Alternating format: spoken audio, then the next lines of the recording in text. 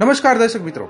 વિજય રૂપાણી અને નીતિન પટેલના આવશે અચ્છે દિન. જાણો દિગ્ગજ નેતાઓ માટે ભાજપનો શું છે પ્લાન ગુજરાતમાં પાંચ વર્ષથી વધારે સમય સુધી મુખ્યમંત્રી અને નાયબ મુખ્યમંત્રીની જવાબદારી સાથે કામ કરનારા વિજય રૂપાણી અને નીતિન પટેલનો એકાંતવાસ ટૂંક સમયમાં પૂરો થઈ શકે છે.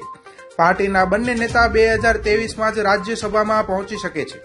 ગુજરાતમાં રાજ્યસભાની ત્રણ બેઠકનો કાર્યકાળ ઓગસ્ટમાં પૂરો થઈ રહ્યો છે.